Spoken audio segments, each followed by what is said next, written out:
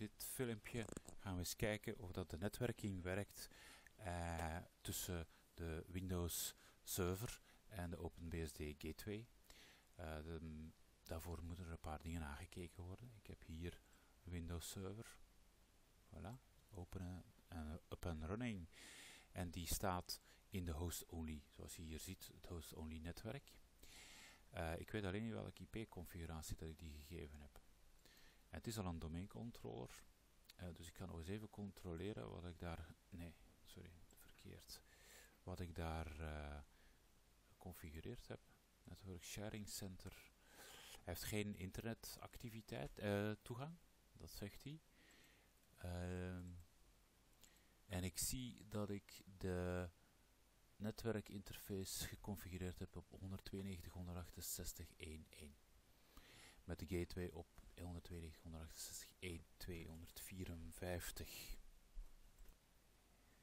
In de filmpjes van OpenBSD heb ik andere IP-netwerken gebruikt, dus die moet ik nu op elkaar afstemmen. Uh, vermits er hier al een domeincontroller is en een DNS-server op dit netwerk ga ik het Windows IP-netwerk uh, behouden en ga ik de gateway aanpassen. Dat is wel het gemakkelijkste. Dus ik onthoud dit. Ik ga dat hier opschrijven.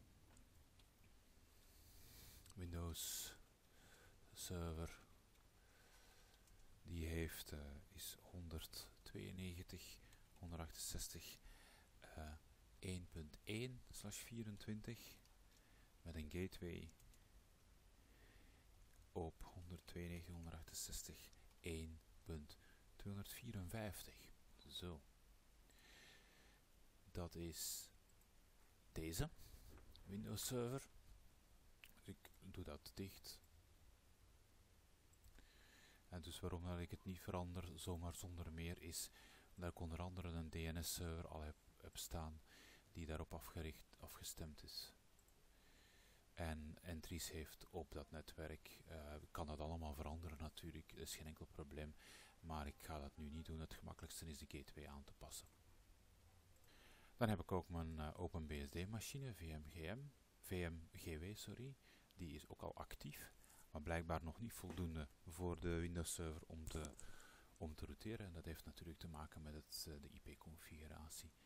Ik ga deze Windows Server eventjes uit de weg zetten even alleen concentreren op mijn gateway. Als root.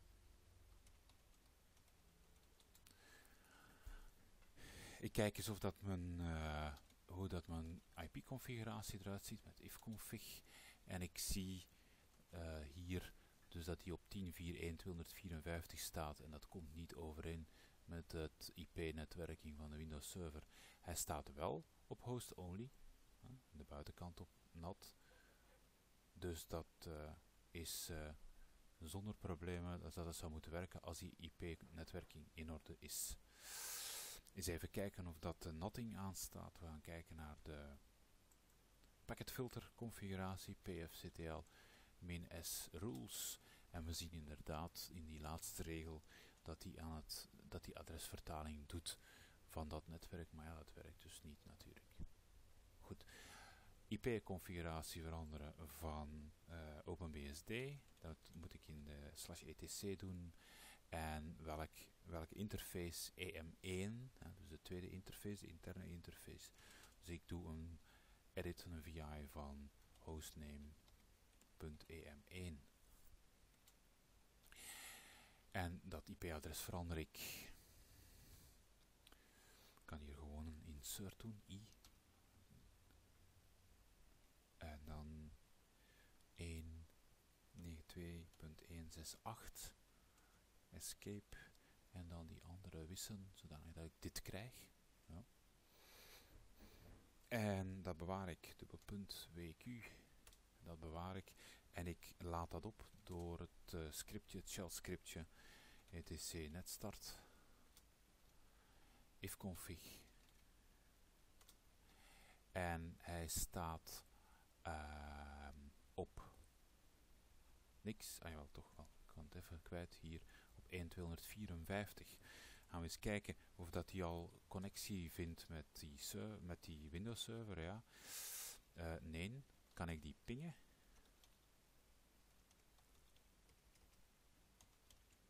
Ik kan die pingen. En die heeft ook een uh, MAC-adres. Ja. Ga ik nu even terug naar de Windows server. En ik kijk, hij zei het al hier, local only nog altijd. Het kan zijn dat er nog altijd iets mis is. Hij heeft hier nog altijd een kruis. Ja. Goed, eens kijken.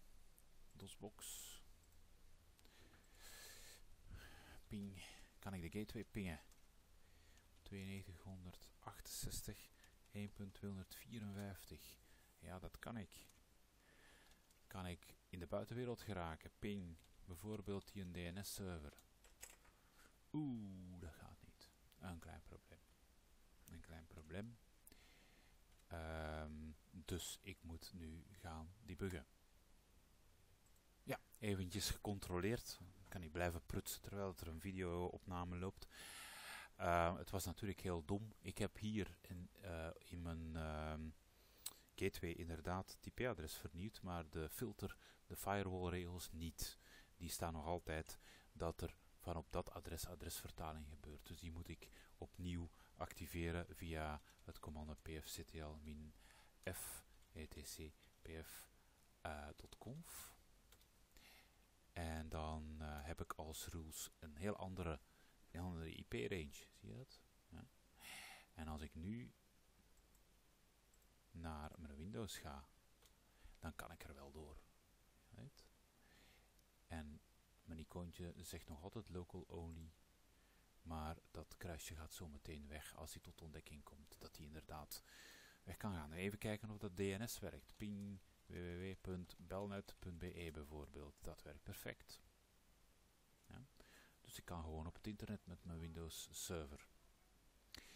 Als ik op mijn uh, OpenBSD ga kijken en ik kijk niet naar de regels min SR, maar naar de status min SS, dan zie ik dat hij allerlei connecties open heeft. Uh, vanaf, dit, vanaf hier werkt dat namelijk uh, de NTP-service hier, 123, maar ook uh, connectie. Eens kijken, dat is een DNS-server naar de 1.1, dat is een Windows-server, zie je dat? Dit zijn broadcasts uh, en ICMP is ook actief. Als ik uh, zou surfen bijvoorbeeld, een Windows server. Niet zo'n geweldig idee, dat weet je.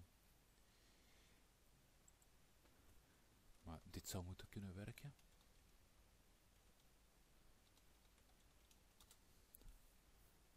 Gaan we hier kijken naar de rules. Dan zie je dat hij allerlei poort 80 connecties open heeft hier. Zie je dat?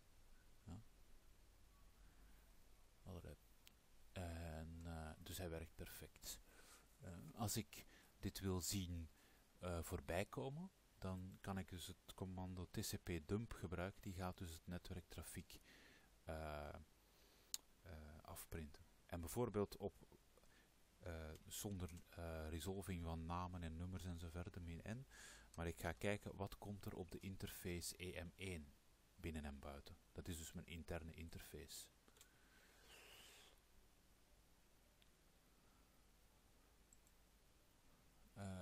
promiscuous mode heeft te maken met die, dat sniffen.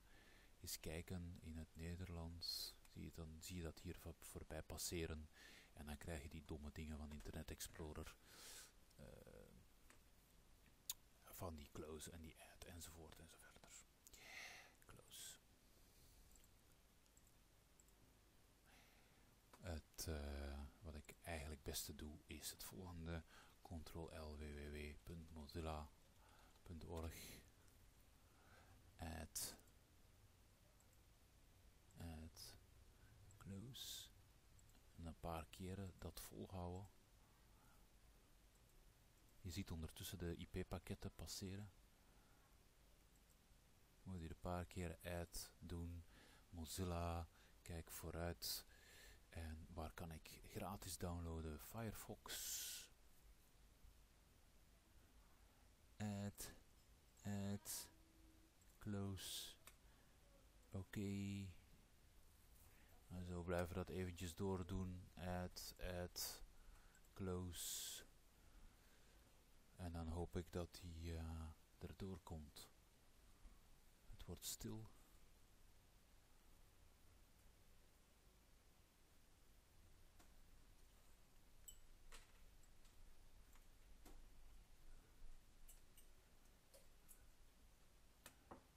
Helaas is dat niet gelukt. Nou, dat is dus een hopeloze zaak met die Internet Explorer van Windows Server. Ik ga dat nog eens proberen.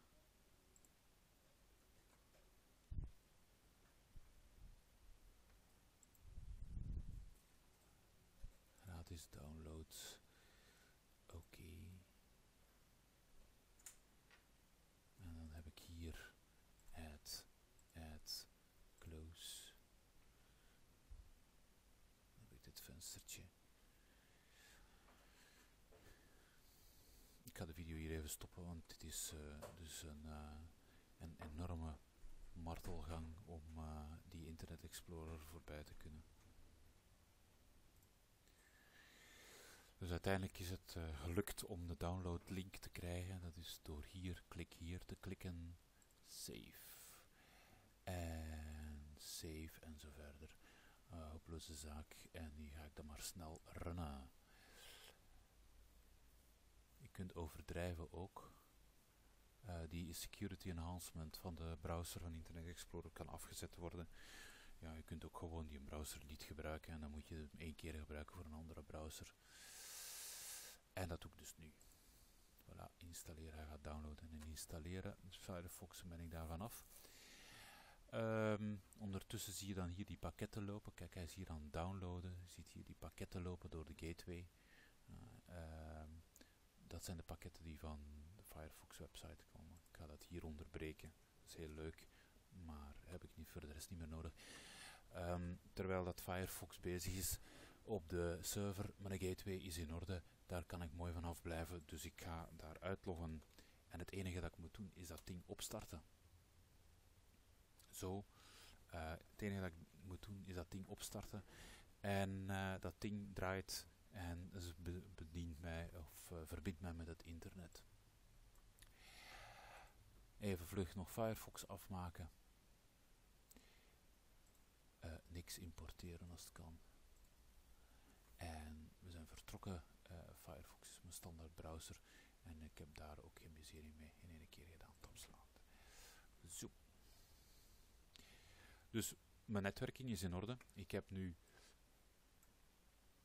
het volgende, de volgende situatie.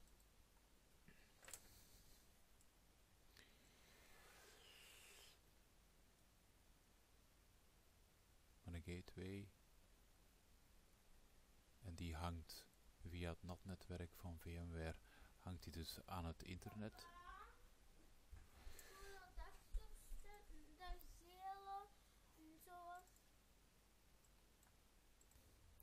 Dus de uh, gateway verbindt uh, mijn netwerking dus met het internet via het, uh, de NAT-omgeving van VMware.